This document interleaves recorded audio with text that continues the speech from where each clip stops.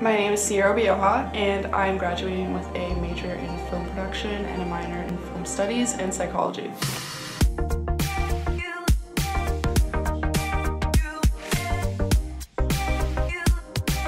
MSUM does like the best to make sure that we're prepared for the industry, so letting us know what's expected of us, letting us um, run our own sets and actually act as if we are in a professional setting at all times. There were several projects a year, so it was like continuously making different stuff, always being creative. I really like the rush and the tone that kind of goes into production and actually like watching behind the scenes what's going on and having like your hand in the creative side. A lot of the professors at MSUM I've gotten to get really close with and they really get to know you and help you find out your personal path. So a lot of them I've been working on with getting like jobs and internships and I had an internship with the Television Academy and through them I was at a host company and my company was Lifetime. My internship was a lot of sitting on meetings, um, talking with the producers, reading scripts and giving them coverage. Working at Lifetime was amazing just because it's such a woman-centered company and they're very progressive. It was a really good experience, especially as a filmmaker.